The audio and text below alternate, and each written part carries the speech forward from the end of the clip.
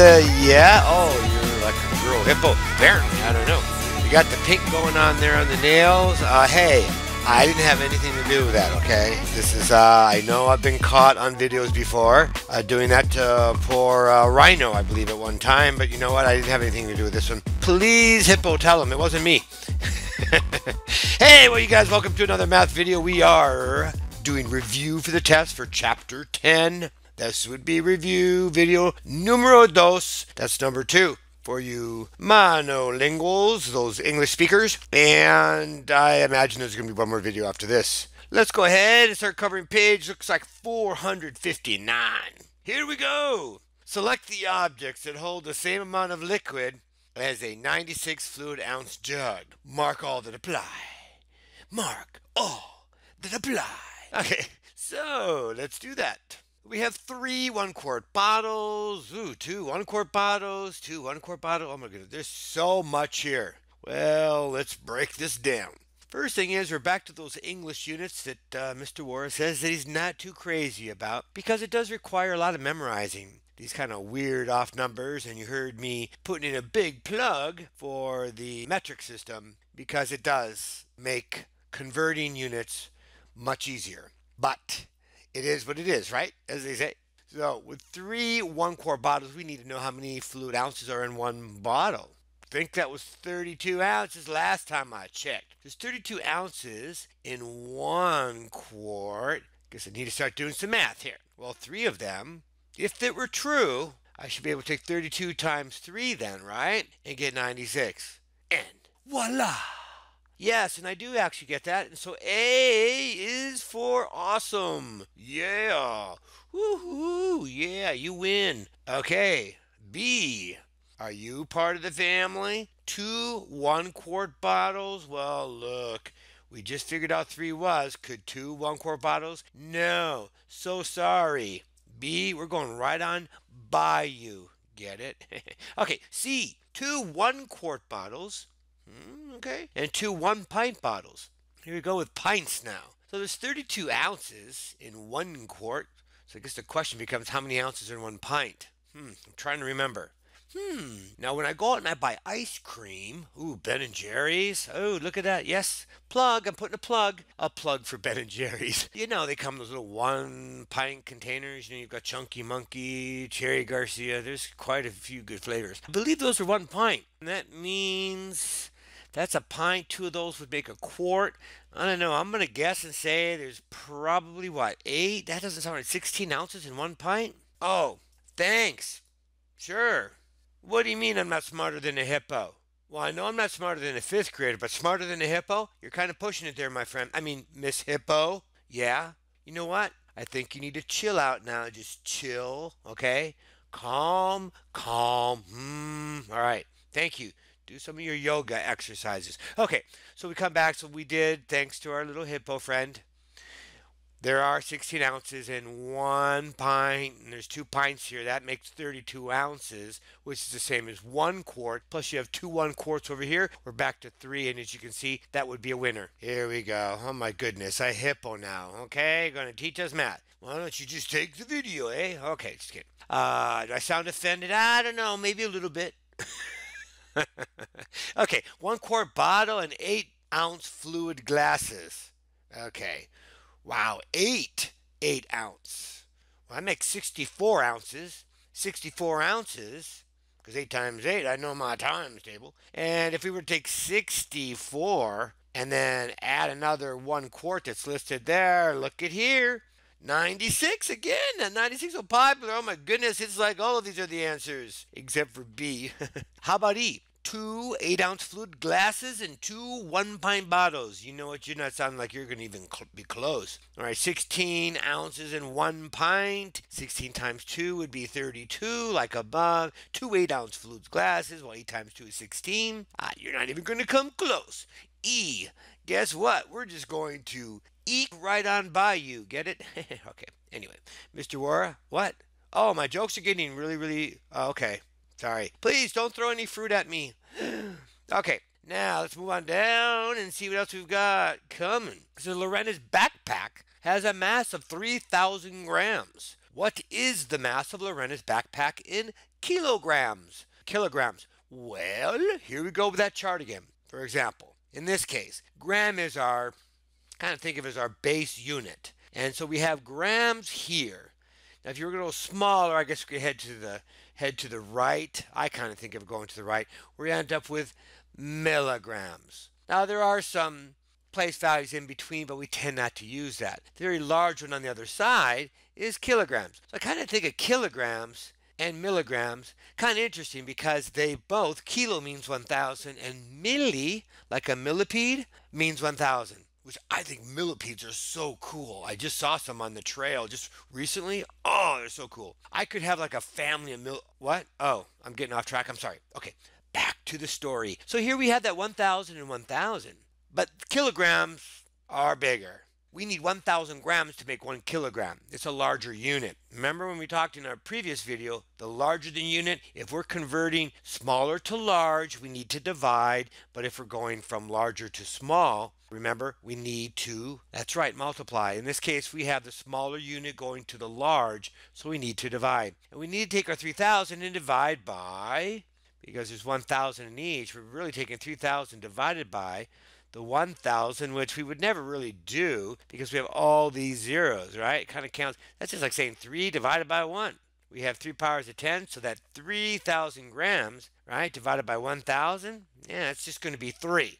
Because when we divide, the decimal moves to the left three places, so we end up with 3 kilograms. Okay, a lot of work for that little problem. Just trying to do my job. Is Mr. Waara, the math teacher. Okay, so this is Richard walks every day for exercise at a rate of one kilometer every 12 minutes. Being here in the United States, uh, kind of hard to compute what that really means. One kilometer every 12 minutes. I don't know. Is that fast? Might be. At this rate, how many meters can Richard walk in one hour? Hmm. Explain how you found your answer. Okay, well, let's talk this one out because this is a metric system. First things first, we know how easy it is to convert now from a kilometer to a meter, just like a kilogram to a gram. We have a large unit here. The meter is the smaller unit. And if we're going to take our kilometer and turn it into meters, since kilometers larger, we're going to have to multiply. And so we're going to take that one kilometer and we're going to multiply it by 1,000 because kilo means 1,000. So we're going to put here in my notes. So one kilometer is equal to 1,000 meters. Now, that lets me know at least what that conversion is. Now I look at it, it says, but at this rate, so there's a rate, how many meters can Richard walk in one hour? Well, if he's doing 1,000 meters in 12 minutes, what we need to know is how many 12 minutes are there in one hour. So we have yet another conversion here. Well, 12 minutes, you may know your times table. Because when I see 12 and I see one hour, one hour I see 60 minutes. So it might be a good idea if we have the exact same units. Yeah, Good idea, Mr. Waara. So 12 minutes times something is going to equal 60 minutes. Do you have a number for me? Yeah, maybe you guys were thinking five. If you know your timetable and your 12s, I just think that's awesome because that's 60. So now you can kind of see we have five groups of these 1,000 meters. Every 12 minutes, Richard is going to walk a thousand meters. He's going to do that like five times over in that one hour. So 1,000 plus 1,000. You get the idea. We're making copies. We're just saying five times 1,000. So it's going to be 5,000 meters. Now, let's explain your answer. I think I kind of did that. So this is what I decided to do. I decided to convert my kilometer into 1,000 meters.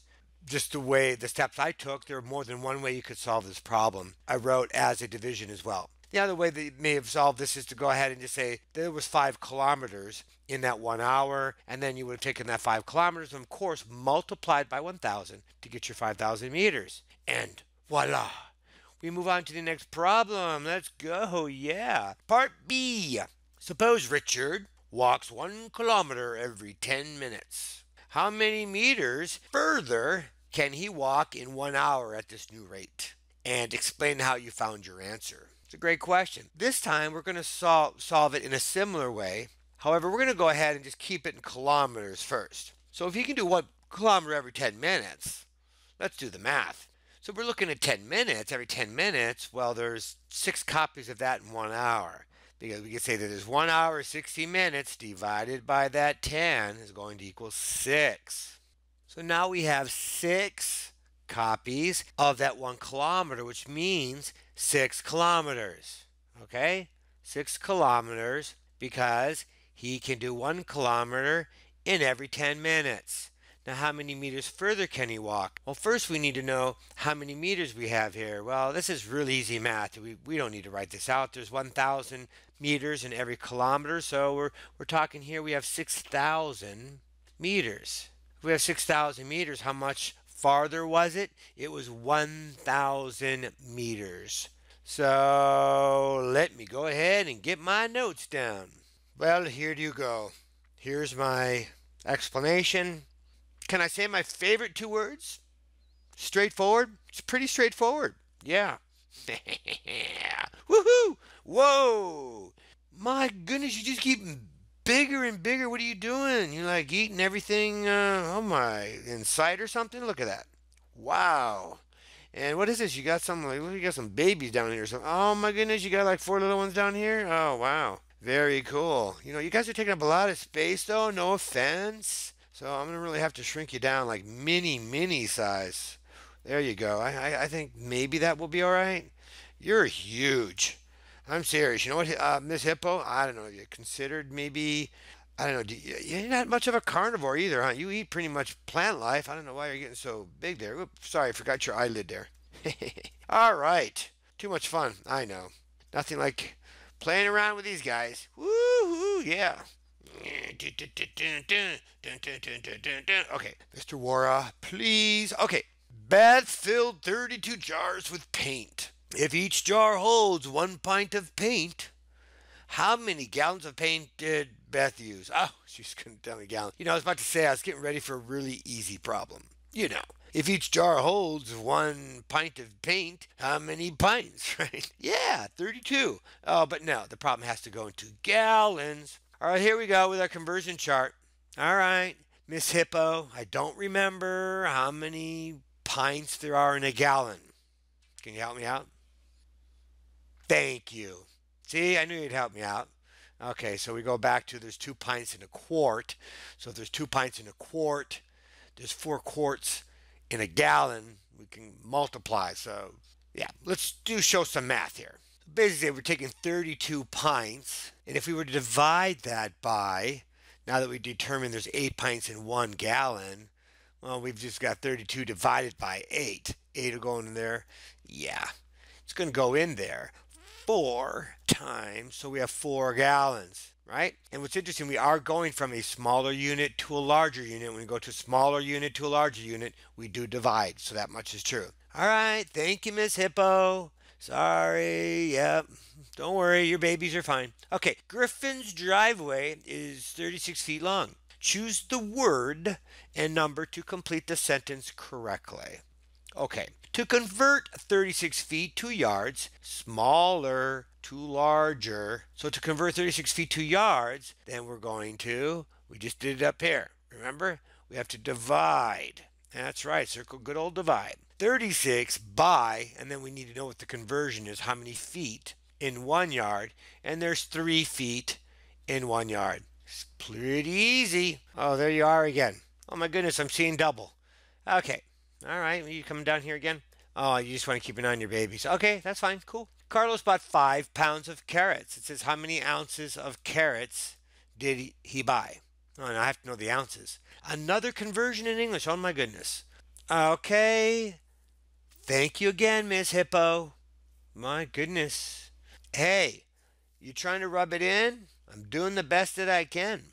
Thanks, Miss Hippo. She's telling us that there's 16 ounces in one pound. So since we're going to a larger unit to a smaller unit, we're going to need to multiply. Since there's 16 ounces in every pound, we're going to multiply that by 5. And you can see here, we're going to get 80. So we're going to get 80 ounces. Okay. Thank you, Miss Hippo. All right, hopefully I'm not going to need her anymore. This is getting kind of, you know, I'm really not smarter than a hippo here. Okay, Chandler has 824 millimeters of fabric. How many centimeters of fabric does Chandler have? use the numbers and symbols on the tiles to write an equation to show the conversion. Okay, I'm not going to need you on this one here, little Miss, Miss Hippo. No, I'm not, because this is metric system, and these are nice. So if I have 824, I might as well just go ahead and write my equation. 824 uses this guy right here. 824 millimeters. Now we have a smaller unit going into a larger unit because centimeters is a bit larger, but it's only larger by 10 times because centi means 100 and milli means 1000. So I'm going to divide by 10 is what I'm kind of thinking. And then if I divide that by 10, then I can go ahead and change this to 82.4. Tell me that isn't a great way to convert one unit to another when it comes to, yeah, oh, I put it in here. So Sandler has I'm just going to rewrite this 82.4 centimeters of fabric. Yeah, I am smarter than a hippo. I'm smarter than a hippo. No, okay. Glenn needs to cut pieces of ribbon that are each one meter long to make ribbon keychains. Okay, if he has three pieces of ribbon that are each one decameter long, how many one meter pieces of ribbon can he cut? Really? A decameter? Okay. Who uses that unit of measure? Apparently Go Math. Okay, not common. We don't really use that. Uh, I just happen to know the only reason why I know what that one is because I know decimeter is smaller than one meter and a decameter is 10 times greater than one meter. That's just not a common unit. But let's go ahead and deal with it. So if we have one meter long, I see here, to make the ribbon keychains, if he has three pieces of ribbon that are each cut one decameter long. So this one decameter, so that you know then, would be equal to 30 meters. Pretty long. who has ribbon that long 30 meters so if i'm going to have to if, if, if, he's going to cut three pieces of that oh what did i just say i just said 30 ah, my mind's moving too fast I mean, that's the answer. It's going to be 30 pieces. Sorry, it's going to be one decameter is equal to 10 meters. Oops, little little mistake there. Okay, remember, you didn't see anything. Okay, shh. Get the eraser, Mr. Waara. Maybe nobody will notice. There. It's like like it was never there. Okay, guys, keep say keep turning around. Don't look. Okay. Okay, are they looking yet? No? Okay. There you go. Just like I said, one decameter is equal to 10 meters. So if you have uh, basically three pieces of ribbon that are each that length, that means you have 10, 20, 30. You're basically saying 10 times 3, right? Wouldn't that be like the easy way to think of that? 10 meters times 3. So with your 10 meters here, you're going to have one decameter long. Then you're going to have 10 and 10. What? Oh. Oh! the video. It's that means it's coming to an end, my friends. Oh my goodness, I was just getting warmed up. Anyway, great to see the Miss Hippo again, and uh, you know, my friends, there'll be another one coming. All right. So now, live long and prosper.